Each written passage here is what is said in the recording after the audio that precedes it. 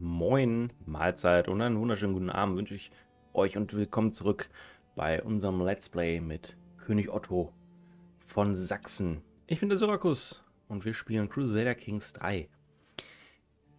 Ja, und wir haben ein eigentlich doch klar gesetztes Ziel, denn ich sag mal so, auch wenn unser König Otto sicherlich nicht der gebildetste oder der äh, verwaltungstechnisch fähigste Mann ist, so erkennt er doch ganz klar, dass äh, seine Staatskasse leer ist, mehr als leer. Und im Gegensatz äh, Schulden da sind, die getilgt werden müssen und seine Einnahmen derzeit, ja, mehr als mickrig sind.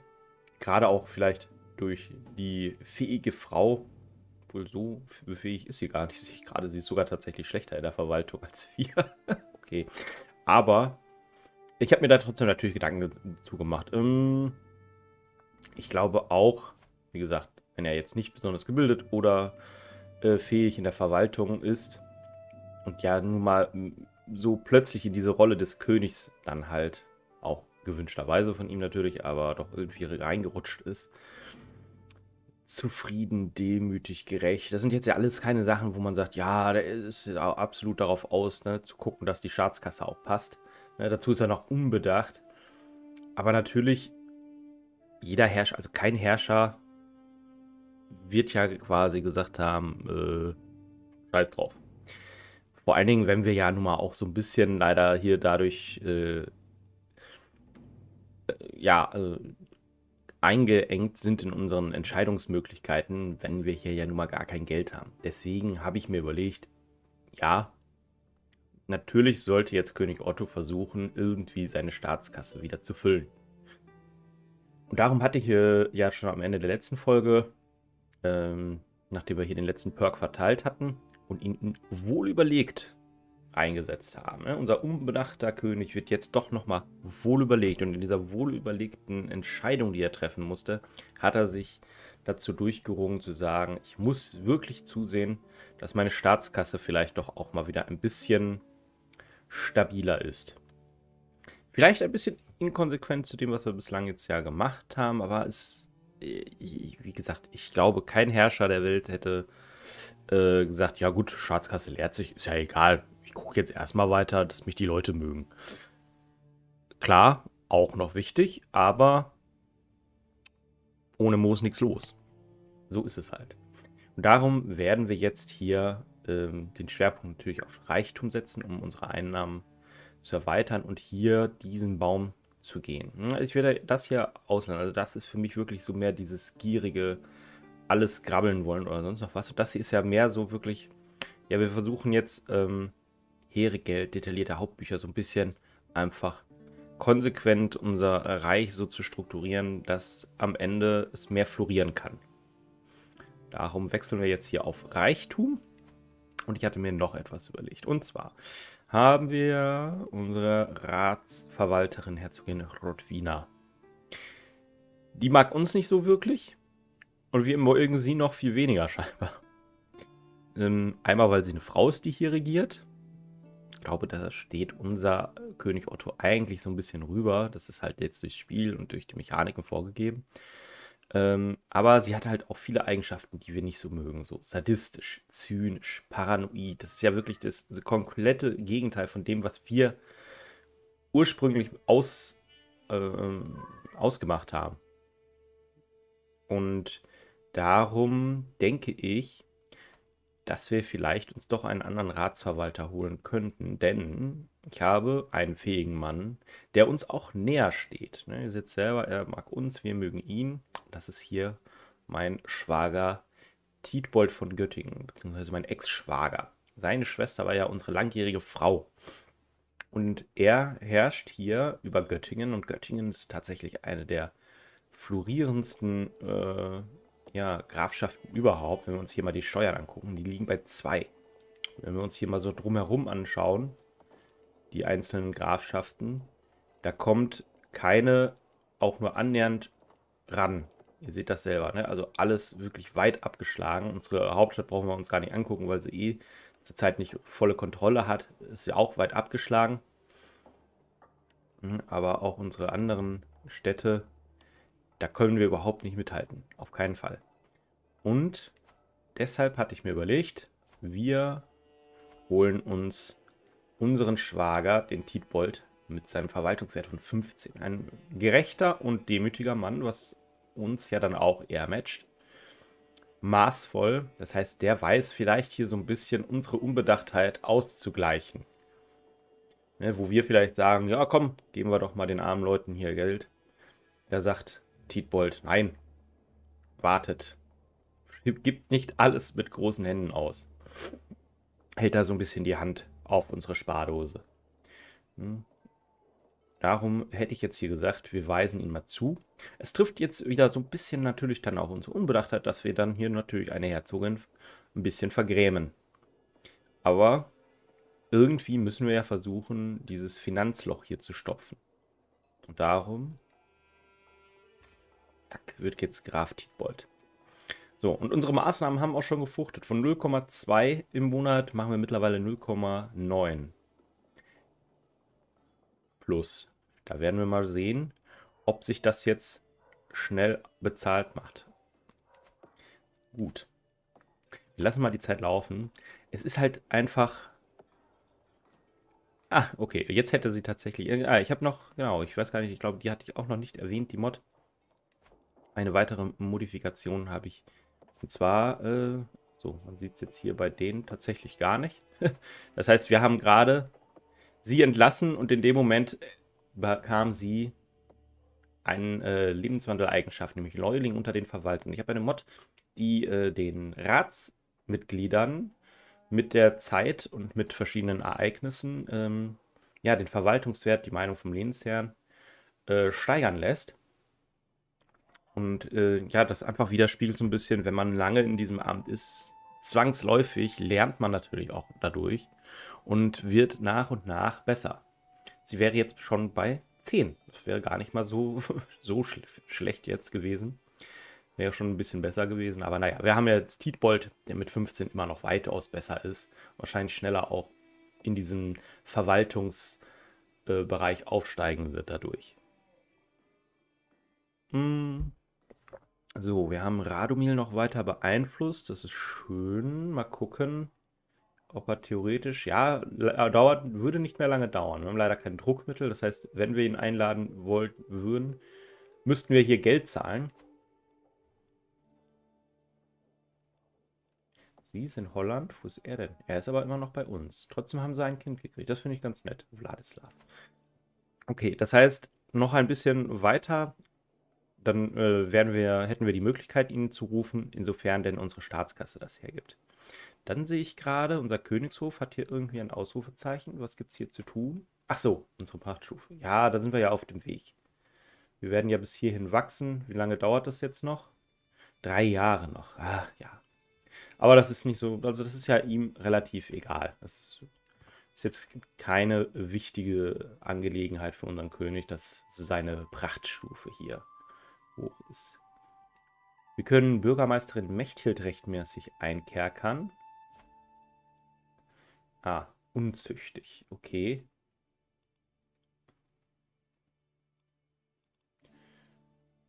Ja. Werden wir auch tun. Hm. Oder zumindest versuchen. Denn ich denke mal, das ist natürlich etwas, ein Vergehen, was geahndet werden muss.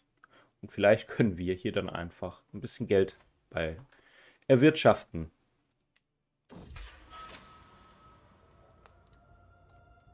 Criminal in Jail. Warum ist das jetzt auf Englisch? Das ist aber jetzt ein Fehler, glaube ich. Okay, naja, gut. Gut, wir haben die Bürgermeisterin äh, gefangen genommen, sie mit ihren äh, Fehlern konfrontiert hier in Warendorf. Ah, sehr schön, okay. Das eigentlich, das habe ich noch gar nie. Lippstadt ist, Büren, Hansberg. Nee, tatsächlich.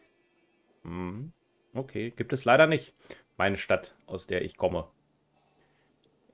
Ihr könnt ja mal rätseln, aus welcher Stadt das ist, wenn ich hier so in der Ecke gucke. Bin ich mal gespannt, ob da einer drauf kommt. Ja, okay. Kein, keine äh, Stadt derzeit im Spiel implementiert. Schade, okay. So. Sie kann, ja, immerhin 30 Gold. Dann ist sie freigesprochen. Und wieder draußen. Können wir ihr dann... Nee, kann man gar nicht. Ich dachte, man könnte dann den Leuten auch äh, vergeben. Da ist doch schon wieder jemand in unseren Gebieten. Ach, Gelder. 3600 Leute. Ja, da können wir natürlich auch wieder gar nichts machen. Ja, zieht sie eh schon zurück.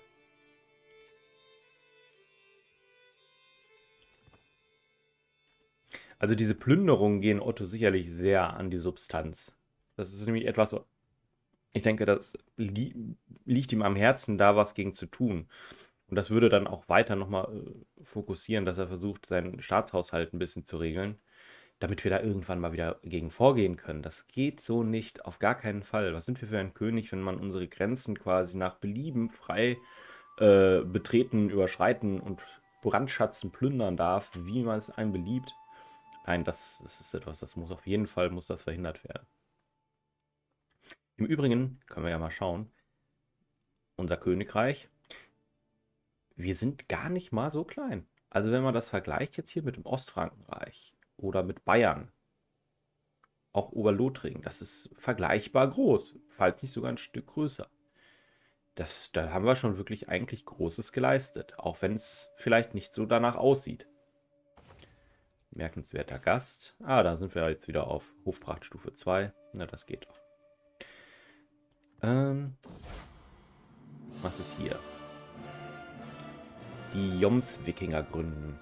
Häuptling Chun, ein unternehmenslustiger nordischer Abenteurer, hat einen bösartigen Überfall auf Häuptling Bretislav in Wolin.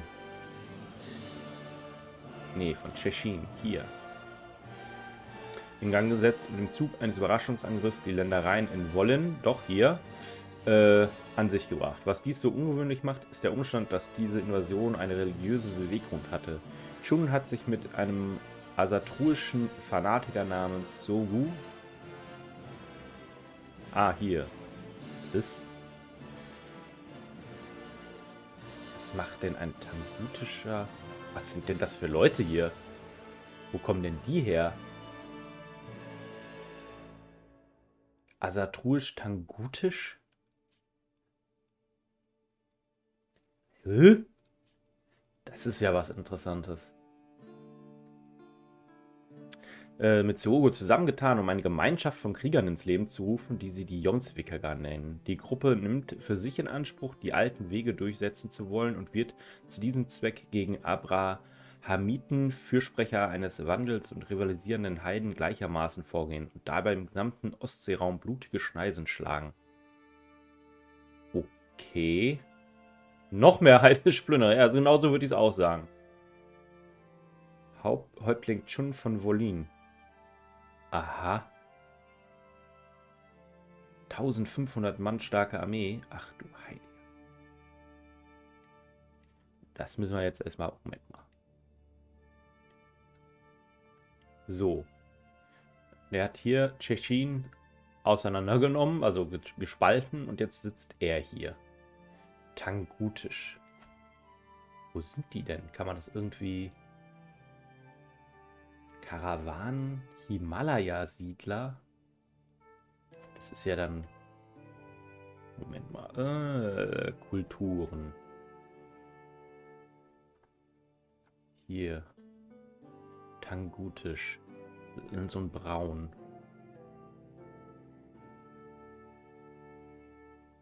Chimekisch. Himalaya wäre ja eigentlich hier irgendwo. Wie kommen die denn da hin? Moment mal, das können wir doch, das können wir, Entschuldigung, das war jetzt hier mal gerade aus unserer Story abweichen. Aber das finde ich ja Tangutisch. Alle. So, jetzt wollen wir noch mal gucken. Das können wir wirklich hier irgendwo aus einem asiatischen Raum. Mal von Häuptling. So, den suchen wir jetzt mal. Hier hinten? Der ist ja harnisch. Tangutisch hier. Ja, ach, das wird auch jetzt hervorgehoben, weil wir es gerade gesucht haben. Was?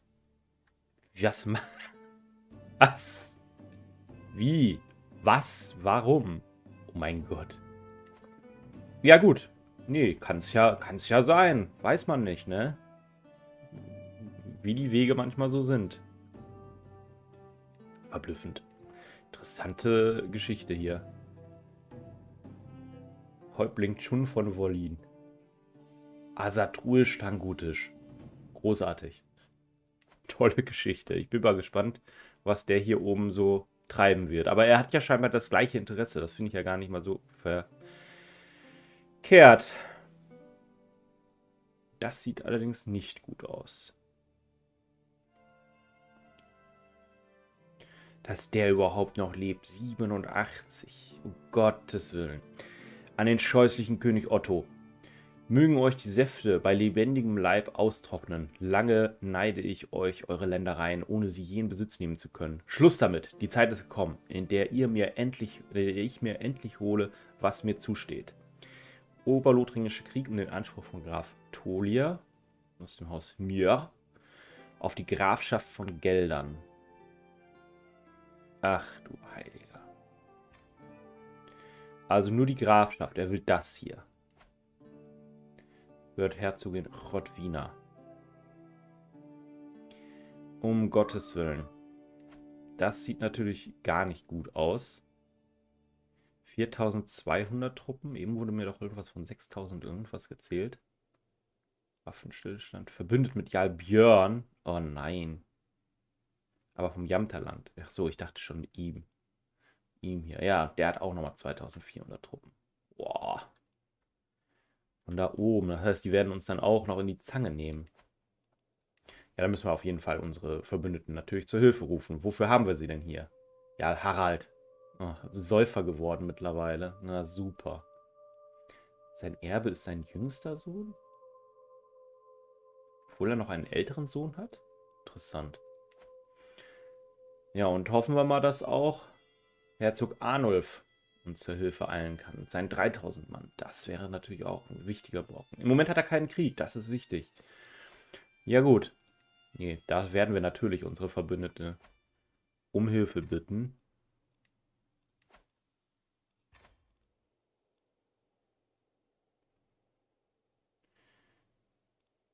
Äh, immer mehr Leute wollen jetzt hier einen Ratsposten haben. Ja, schon klar. Ach, und schon wieder Krieg. Furchtbar. Der arme König Otto. Tut mir wirklich leid. Ausgezeichnet. Ausgezeichnet. So, wo rufen wir unsere Truppen? Das müssen wir jetzt mal genau überlegen.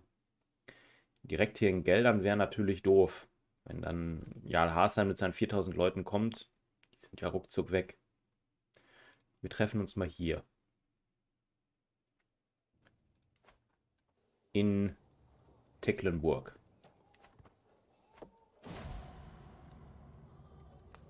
Was? Och nee, nicht noch einer. Prinz Kobo wurde ermordet. Oh Gott, wie konntet ihr Kobo das antun? Wenn ich gesündigt habe, warum bestraft ihr dann nicht mich? Er war bei bar jeder Schuld. Er sah auch wirklich ganz unschuldig immer aus, wie er so stand. Mein perfekter Sohn. Das Leben hatte noch so viel vor mit ihm. Prinz Kobo starb unter mysteriösen Umständen. Das hat er nicht verdient. Aber wer war es? Wer hat ihm das angetan? Moment mal, jetzt müssen wir, da müssen wir erstmal nachforschen. Er war ja mit ihr verheiratet. Kinderlos auch noch. Ach, das kann doch nicht sein. Schon zwei meiner Söhne sind von mir gegangen. Aber mittlerweile geht es wenigstens Prinz Ludolf wieder gut. Das ist aber traurig. Meine Herren, nee. Aber wer war es? Wer hat das zu verursachen gehabt? Da müssen wir doch, da werden wir unseren ältesten Sohn, der sicherlich auch ein Interesse daran hat, herauszufinden, was mit seinem Bruder passiert ist, erstmal drauf ansetzen. Das kann ja wohl nicht sein. Äh, nee, nicht, nicht schön. Das stresst uns sicherlich ja auch wieder.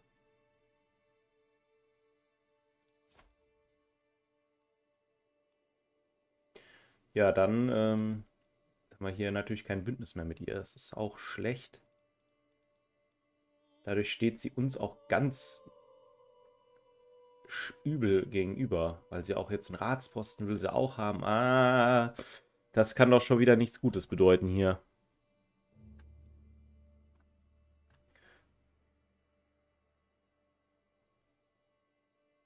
So, ich würde mal sagen, wir müssen hier auf jeden Fall natürlich warten. Und vielleicht können wir hier oben dann die Verstärkung abfangen. Oh Gott, was ist das denn für ein riesiges Heer?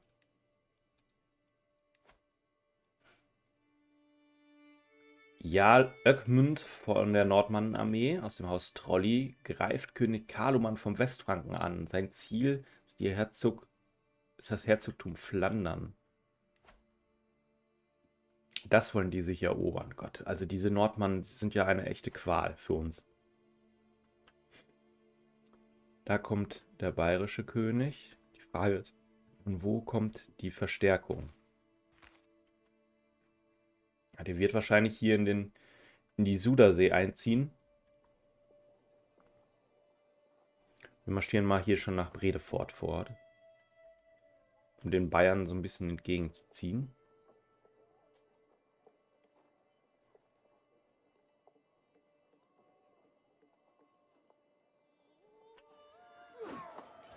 Ja, Geldern verteidigt sich natürlich auch selbst. Sehr schön. So, dann wollen wir mal. Los, Leute, kommt. Müssen wir natürlich erstmal hier nach Nijmegen.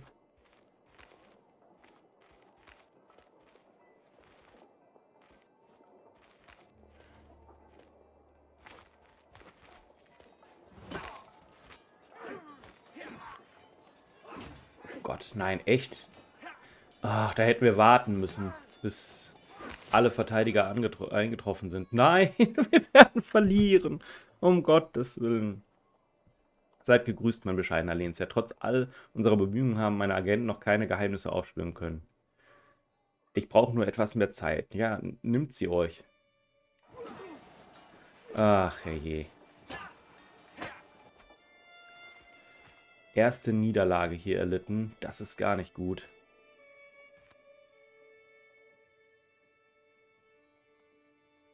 Mein Neffe wurde in der Schlacht erschlagen. Ah, okay. Ach ja. Da soll noch einer sagen, als König regiert man einfach.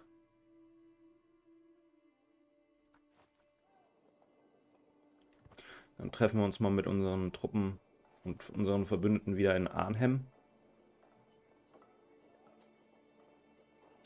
Das sieht nicht gut aus.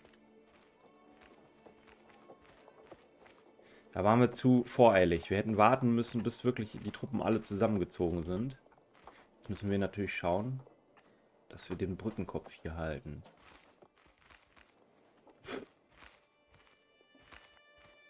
Oh, das sieht wieder nicht gut aus.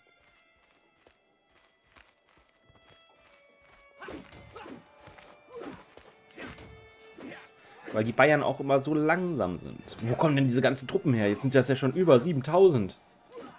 Vermehren die sich auch noch? Och Gott, nein. Ja, das sieht nicht gut aus. Das sieht... Oh. Ja, ich glaube, der Stress war wirklich einfach zu viel für ihn. König Otto von Sachsen ruht nun nach 52 Jahren endlich in den Armen des Herrn. Ja, nach 52 Jahren endlich. Gerade mal. Man kann schon älter werden. Er starb gichtgeplagt. Ja, das hat uns immer schon ein bisschen Sorgen gemacht. Ein alter Mann hat ein langes, erfülltes Leben geführt. König Ludolf besteigt den Thron. Ludolf ist verschlagen und hinterhältig und scheint die Wahrheit zu hassen. Dies könnte auch sein Untergang sein. Oh, oh, oh, oh. Ein ganz anderer Typ König, den wir jetzt hier in Sachsen haben. Mit dem wir uns natürlich dann auch auseinandersetzen werden. Ja, der Krieg, ich glaube, das, das wird nichts mehr. Ähm, was haben wir jetzt noch? Wenig Kontrolle hier in Danneberg. Okay. Belagerung verloren, ja. Fraktion, die euch zum Ziel hatte, sich aufgelöst. Ach, unser Sohn hatte... Ah, nein. Unser Sohn selber hatte eine Fraktion gegen sich. Die hat sich aufgelöst, jetzt, nachdem er dann scheinbar ja König geworden ist. Und unser neuer Erstbischof, Asik von Sachsen. Das finde ich immer interessant. Ich glaube, man nimmt den Erzbischof mit, den man in seinem Reich vorher hatte. Das heißt, wir haben jetzt natürlich unseren Erzbischof erstmal verloren. Okay. Ja gut. Interessant. Ich bin mal gespannt. Oh, aber wir sind jetzt wieder im Plus. Das ist ja eine interessante Sache. Wir haben wieder Geld zur Verfügung. Das heißt, es macht uns natürlich, gibt uns natürlich wieder ein bisschen Möglichkeiten. Ah ja. Gierig und verschwenderisch. Interessant. Ja, ich denke, es ist eigentlich eine gute Situation, um an der Stelle zu sagen, wir beenden mal das Video und steigen dann im nächsten Video mit unserem neuen König ein. Wir gedenken noch ein letztes Mal König Otto von Sachsen, der so Großes erlegt, äh, äh, erreicht hat. Kreuzzüge hat er hier unten mitgeführt. Er selbst war da nicht mit bei, aber seine Familie hat sich da auch hervorgetan. Er hat weite Teile hier äh, in den polabischen Gebieten den Slawen abgenommen. Er hat dafür gesorgt, dass Oberhäuptling äh, welcher war es jetzt nochmal? Radomir, genau. Dass der sich dem katholischen Glauben unterwarf. Er hat dafür gesorgt, dass hier oben Slawen und denen lange Zeit geblockt waren. Doch mittlerweile werden sie immer dreister in ihren Überfällen. Er hat dafür gesorgt, dass die Familie unter einem Banner, unter dem Königreich Sachsen zusammenkommt. Die Belunger hat er da reingeholt. Und äh, auch ansonsten fast alle Sachs sächsischstämmigen Herrscher hier unter äh, seine Krone geholt. Ja, aber schlussendlich war ihm das dann doch zu viel.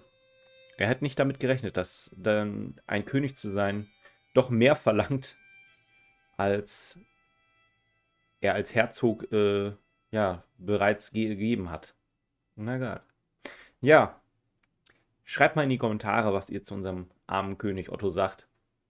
Und äh, was eure Hoffnungen sind, was wir jetzt mit unserem neuen König Ludolf und dem Königreich Sachsen erreichen werden.